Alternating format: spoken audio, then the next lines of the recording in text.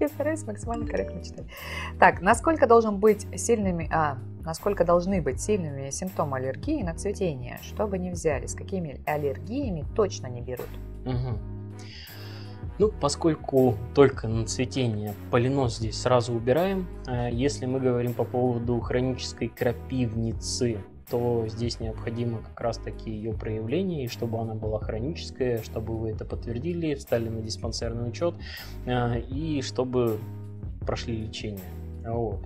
А, плюс сами по себе высыпания должны сохраняться в течение двух месяцев. Это если крапивница. Угу. Если мы говорим по поводу отека квинки, что тоже может быть явлением как раз-таки аллергии на цветение, то здесь рецидивирующий, то есть дважды подтвердили, все, это списание.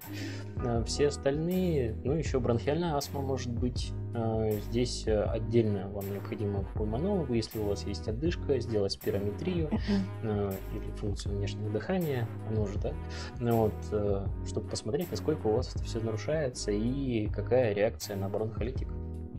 Угу. Спасибо.